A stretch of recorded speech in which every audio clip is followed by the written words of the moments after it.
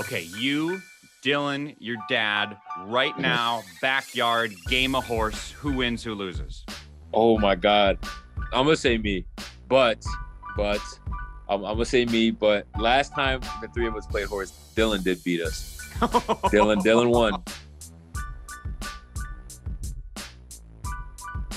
That was Ron Harper Jr., and this is on the bench with Mike Hall. That's me.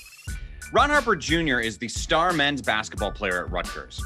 Of course, you recognize his name because of his famous father. Ron Harper was a longtime guard in the NBA who won five different NBA championships, including three with the galactically famous 1990s Chicago Bulls. Just before his playing career ended, he became a father to a son whom he gave the same name. Ron Jr. is now in his fourth year with the Scarlet Knights and is playing his best yet. This season in particular was notable as he helped his team beat the number one ranked Purdue Boilermakers back in December. But it wasn't just that he beat them, giving Rutgers their first ever win over a number one team, it was how he did it. He hit a half court buzzer beater to win the game, the now legendary Harper Heave. So, of course, my first thing I wanted to talk to him about was the shot of his life. I remember so much and I forget so much at the same time. Like coming out the huddle, I just remember telling the guys to give me the ball.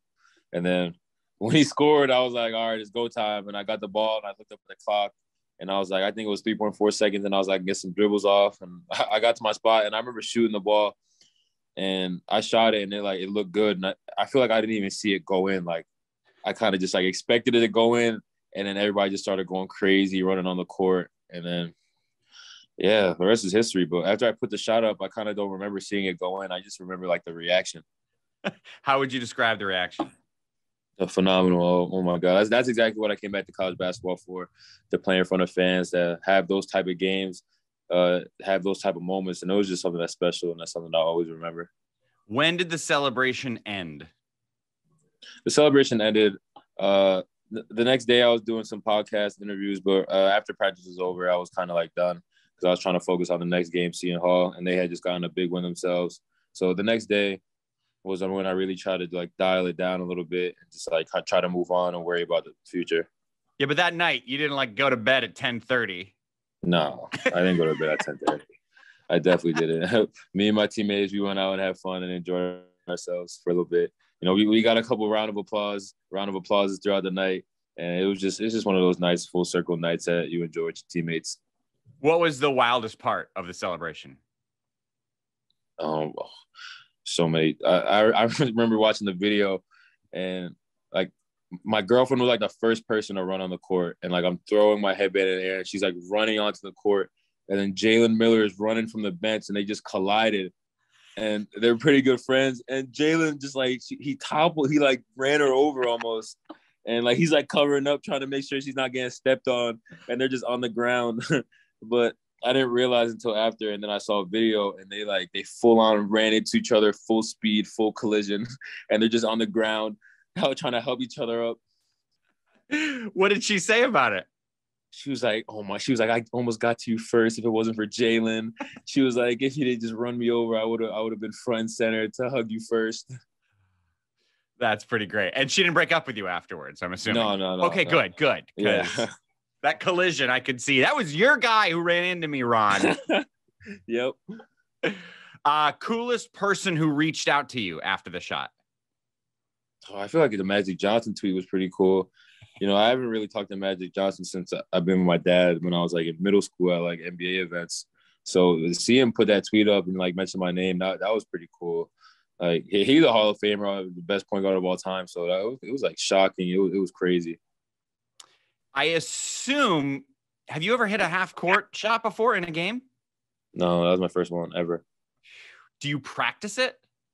Uh, not even, but like before, at, at, the end of every shoot around, we, we kind of shoot half court shots, and it's like the first one to make it, it's like we're done, and it goes in like it goes like seniority, so like the oldest guys first. And I, I made like I think I made almost ten this season out of the games that we had, and I go third, so I'm always up there third but I, I make them at a pretty high clip, and I kind of just shoot it like a regular jump shot. But that's like the that's like the extent of practice that I get from those type of shots. I don't I don't ever like go in the gym and just start shooting half court shots.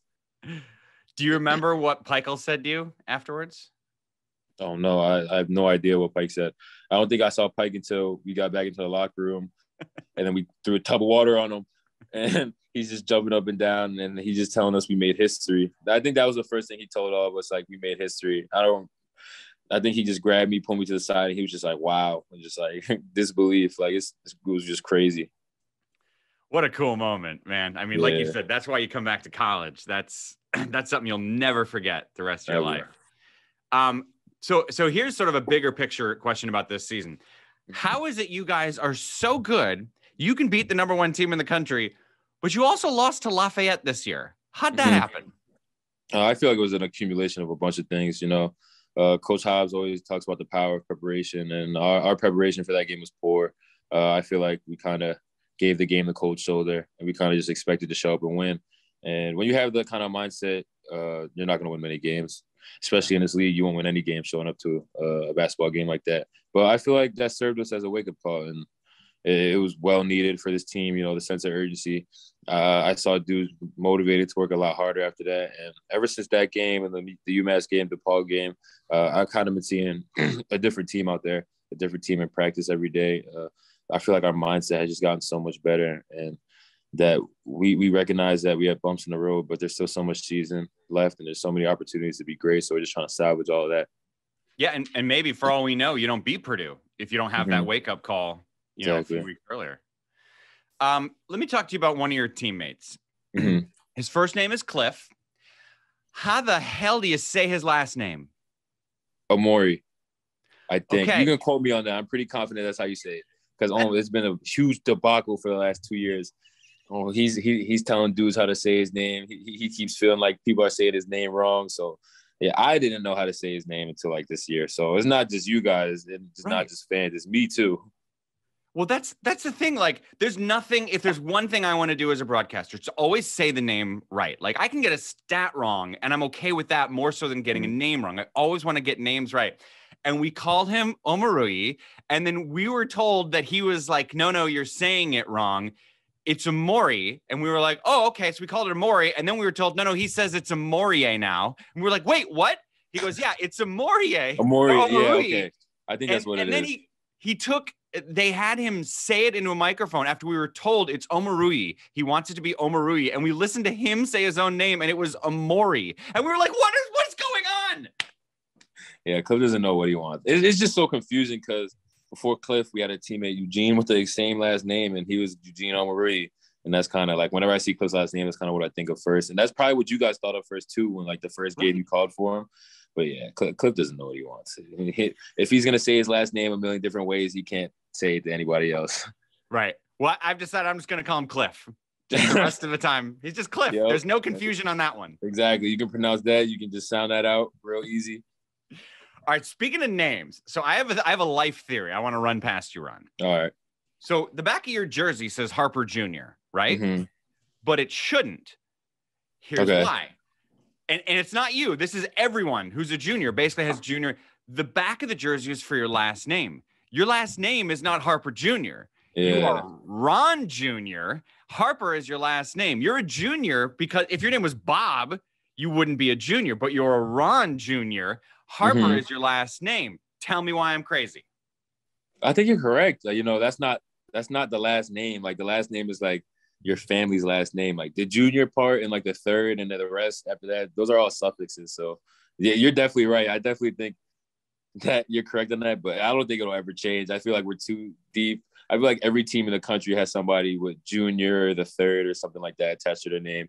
A hundred percent. Yeah, it's everywhere. You're right. Literally mm-hmm. every team has at least someone. G- give me the best thing and the worst thing about being a junior. Uh, the best thing about being a junior is that, especially with my dad, he has a lot of great advice. He can tell me a lot of stories, and I laugh a lot. And he just has a lot of great things to share with me about his journey and like, what he went through. The worst thing about it is kind of like the same thing, you know, the expectations that come with carrying a name. You know, something I struggled with early on, but it's definitely something I've gotten better with.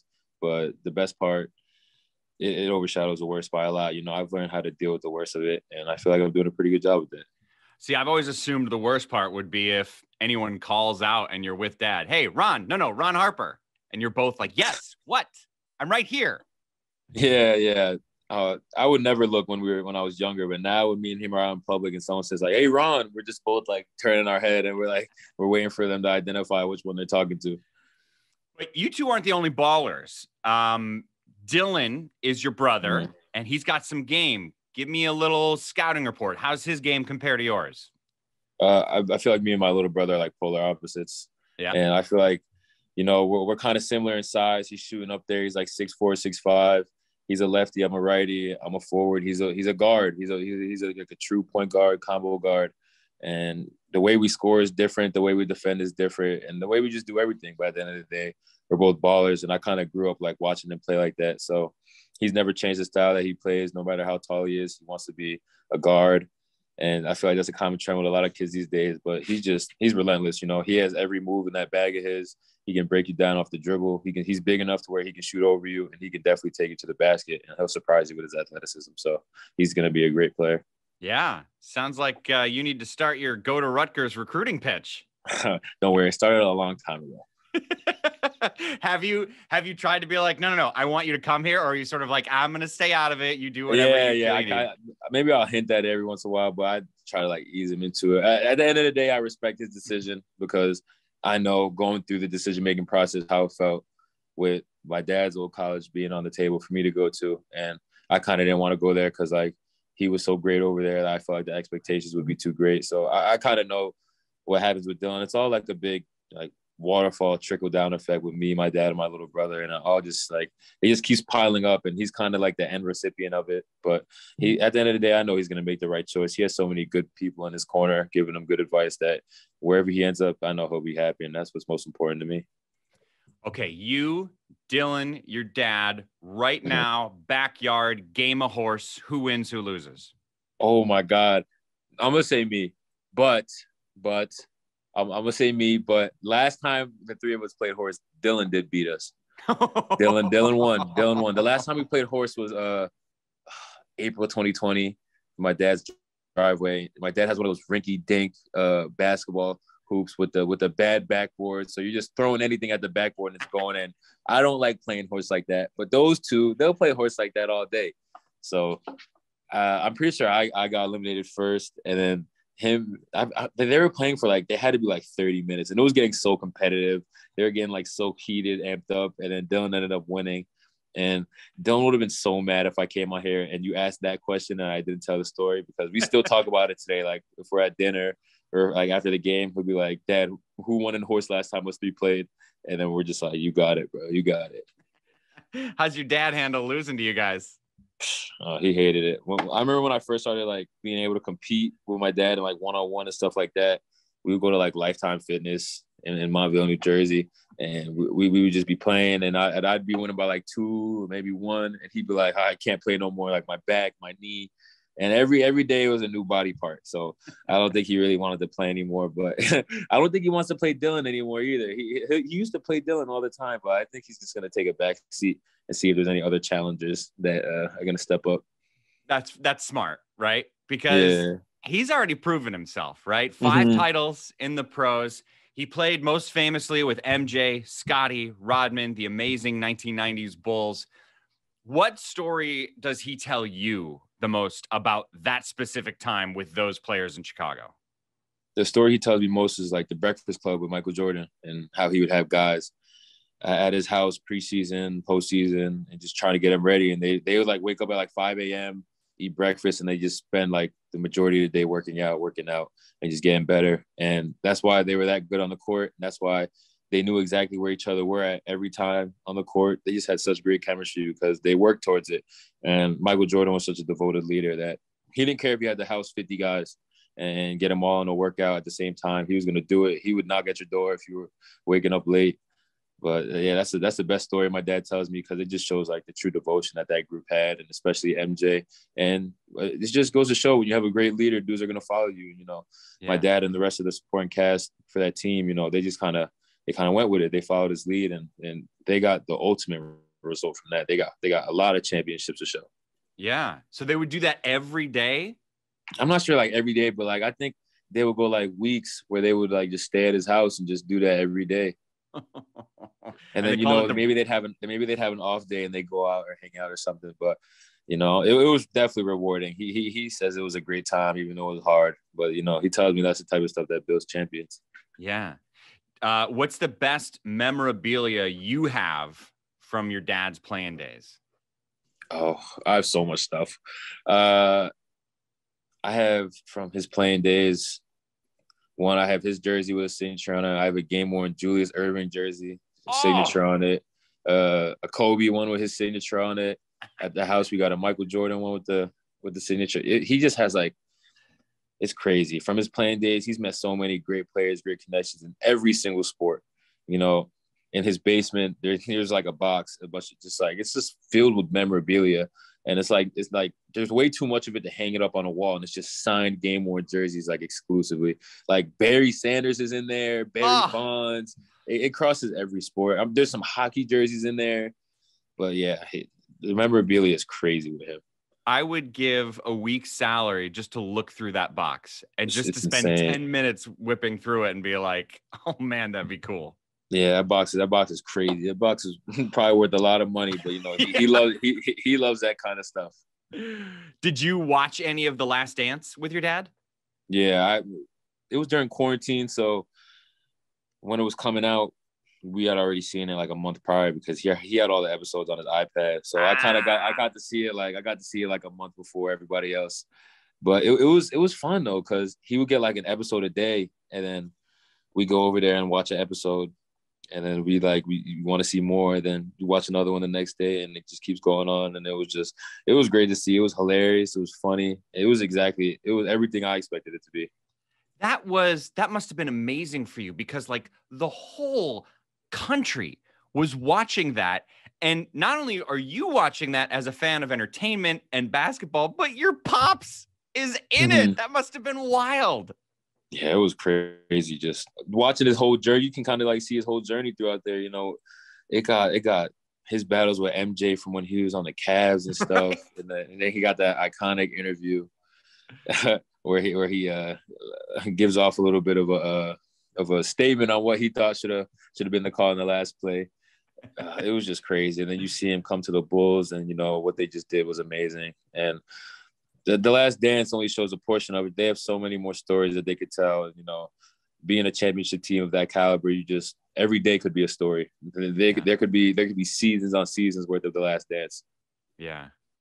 Uh y- you wouldn't dare debate your dad on who was better, MJ or LeBron, would you? No, I'd never do that. Uh, I'm an MJ guy myself, so there you go. That's because you're you know, right but I just feel like it's generations. Like Le- LeBron will always be the goat of this generation. MJ was the, the goat of the last. But it's just so hard to compare the two. You know, it's just like with every sport, the game evolves. You know, the skill level is going to evolve for years to go on. I'm sure 50 years down the line, we'll see somebody else who everybody's calling the go and debating against those guys. But okay. at the end of the day, you just appreciate greatness while you can see it.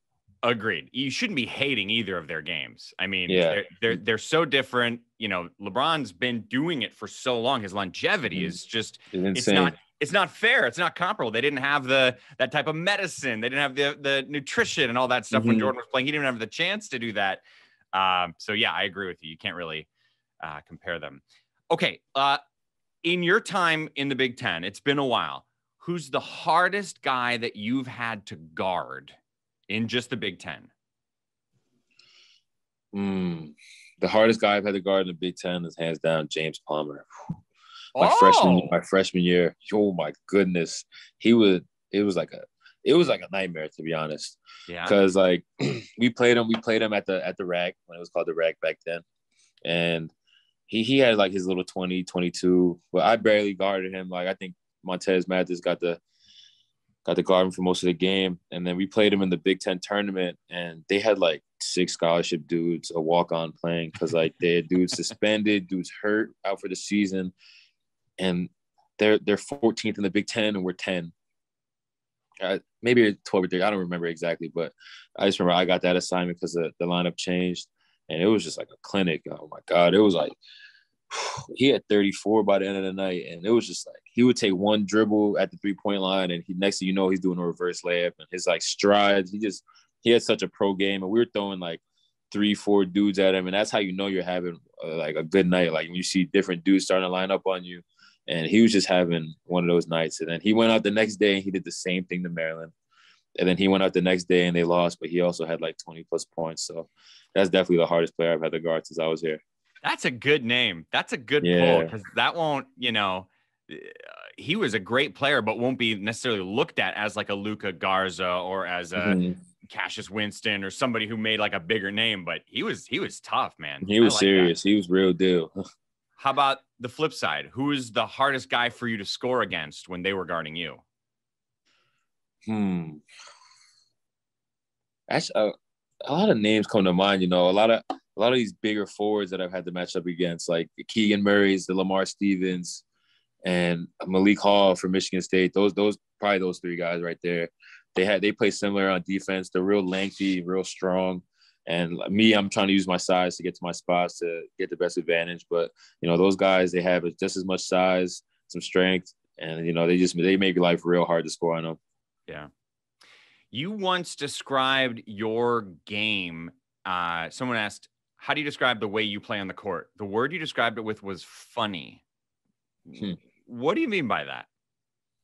It's just funny, you know, uh, because I feel like I can do a lot of things that people don't expect me to do. You know, I feel like I'm a lot more athletic than people give me credit for. And then I, I can surprise you sometimes. You know, I, I, hit a really deep three, make a really tough layup, and it's just funny to me. Like I, I can remember like freshman, sophomore year being at the foul line, and dudes like he can't shoot foul shots and shooting threes, and coaches like not a shooter. So that's that's what I mean by funny. Like it's.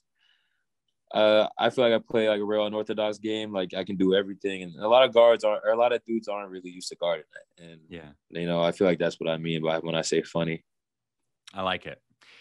All right, Ron, uh, we're almost done, but not yet. Before you go, we're going to do before you go four questions unrelated to anything at all. You ready? All right, I'm ready. Number one, you went to a famous high school. What is it like at Don Bosco? Oh, it's a brotherhood. It's a lot of laughs, a lot of memories, a great education, a great environment.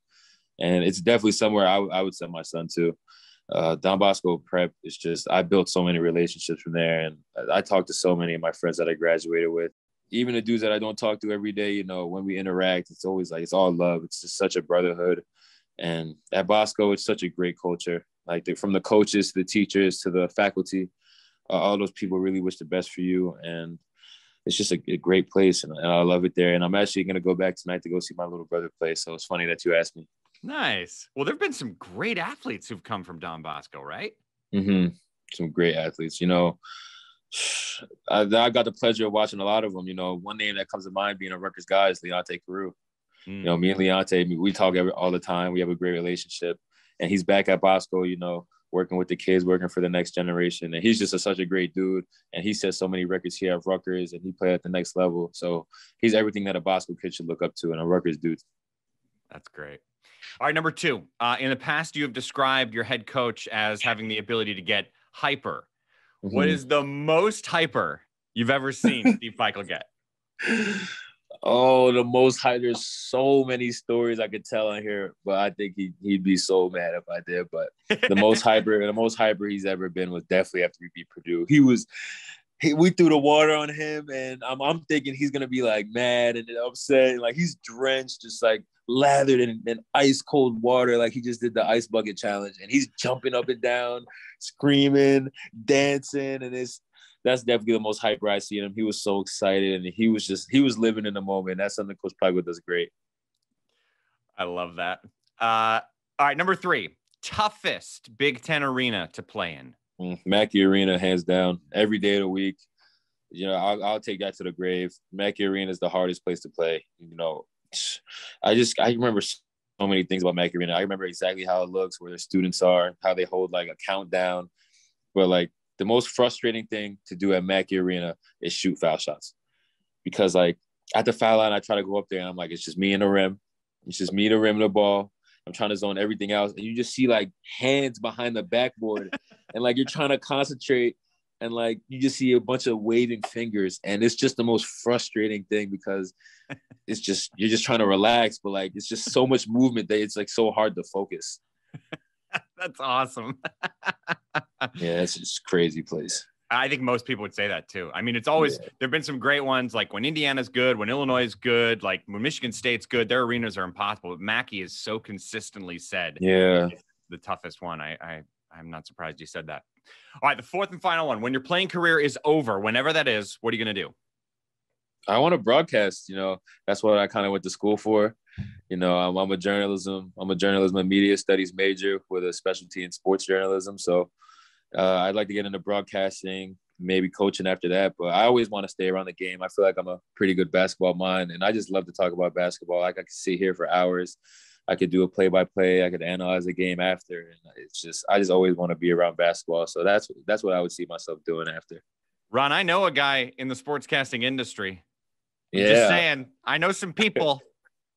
yes, sir. I got to get in touch if if you want me to fire Robbie Hummel so you can take over for him, I'm ready to do that. no, you can't do Robbie like that. Oh, Robbie's a good guy, man. he is. He is. Maybe one day we'll be sharing a set, you, me, and Hummel. Sound like a plan? Maybe one day. Sounds like a plan for sure. I love it. Thanks for your time, Ron. Thank you guys for having me, Mike. That was Ron Harper Jr. My thanks to him for joining me, and my thanks to you for listening. From the Big Ten Network in Chicago, I'm Mike Hall. We'll see you next time.